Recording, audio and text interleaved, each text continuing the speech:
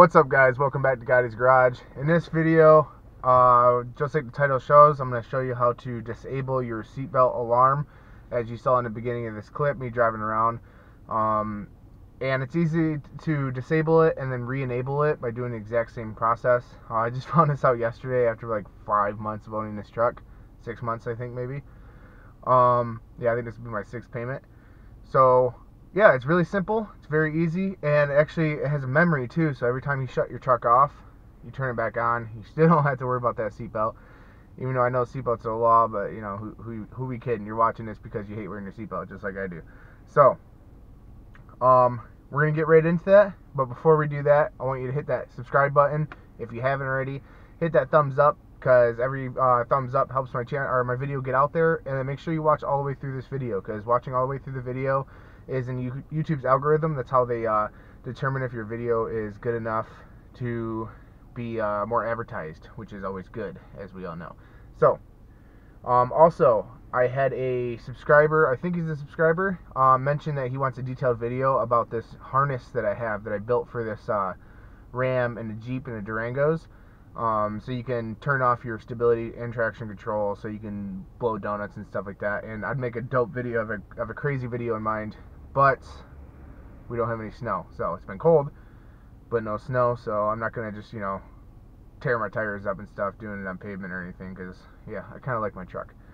So the first thing you want to do is you want to start shut your truck off completely, nothing on, not even on on mode or anything, just completely turned off.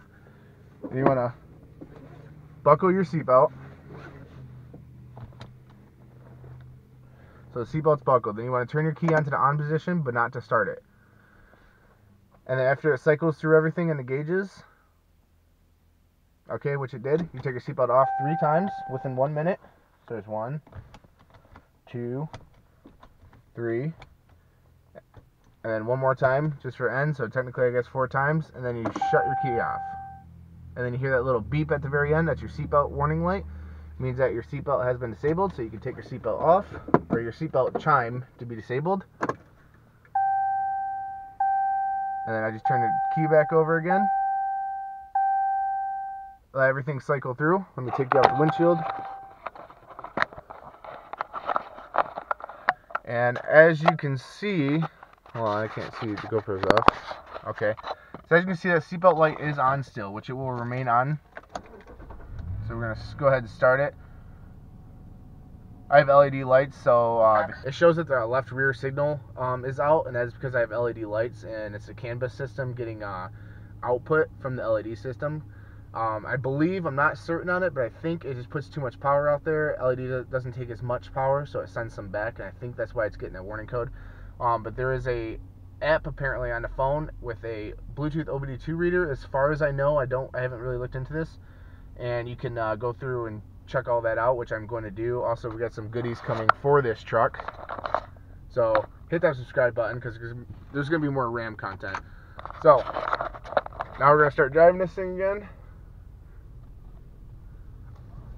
Make sure I don't hit the garbage can. We're just going to do a quick little drive just to show you guys that the seatbelt lights do not, or the seatbelt chime does not turn back on. And then I'll even shut the truck off and then open the door so it cuts all the power and stuff like that and then we'll do it again just so you guys can be certain.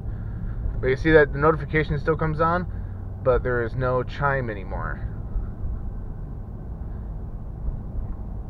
And I haven't tested it because my girlfriend always wears her seatbelt in the passenger seat but um, I'm pretty sure it works for both front or uh, driver and passenger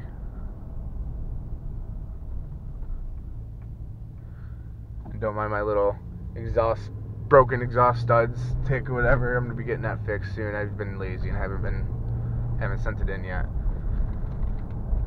But as you can see, we just drove probably about three blocks. And no chime. So we're gonna come up here to the stop sign. And we're gonna shut the truck off and I'll show you guys that it does have like a memory so once you disable that code, it doesn't turn back unless you re-enable it. In order to re-enable it, you do the exact same process. I was like, kind of unsure about that, so I tried that before we even did that. All right, so I'm gonna shut the truck off. All right, then open the door so everything shuts off. And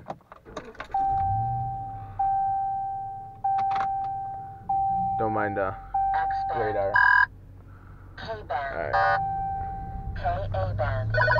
So the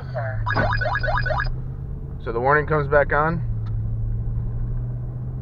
and your seatbelt light is on too, but no chime. So I hope you like this video, and we have more Ram 1500 things coming, uh, wheel spacers, LED headlights, um, leveling kit.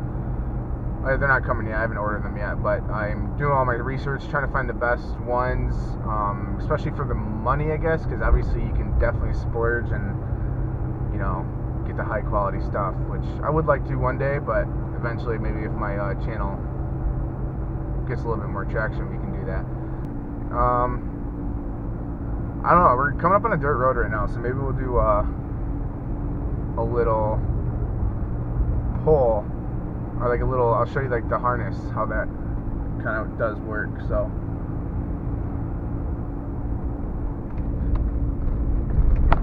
I've never been down here before.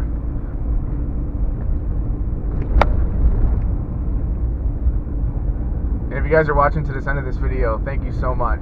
Um, my Huda hardwire radio harness did so well because everybody watched to the end of the video and it made me not a lot of money but it made me more money than most videos so most of my videos and this road's pretty cool actually I might go ahead and set you guys on the roof the button right here it disables the anti-lock brake system um, also doing like the stability control and ABS and stuff. It does put a check engine light on, but it goes out, goes away, especially if it's a scanner. So I'm gonna go ahead and set you guys on the roof now.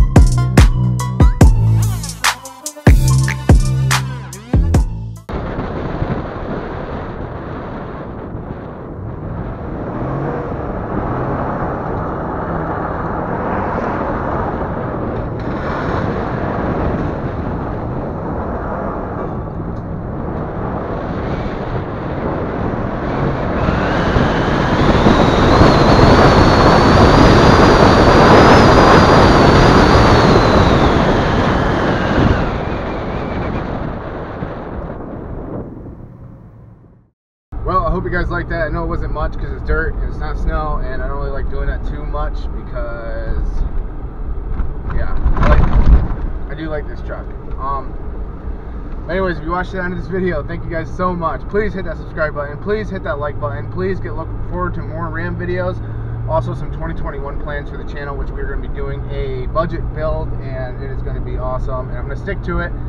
And we're not going to do anything crazy, but it's going to be like well, it's gonna be a drift budget build. It's gonna how to build a drift car for very very cheap. So I want you guys to subscribe to this channel and I want you guys to follow and I want you guys to hit that bell notification so you guys can do that or so you guys can see when videos come up and I hope you enjoyed this video. I hope this uh, little tip helped you. Also, I got other videos such as how to hardwire the police radar so you don't have any cords come down anywhere. You see, my, I got my cords ran all through there. So that's a video on how to do that. Also the video on how to install that harness, which I just got new stuff today. I just got the, the rest of what I ordered today. All right, thank you guys for watching. Make sure you stay different and see you guys next time.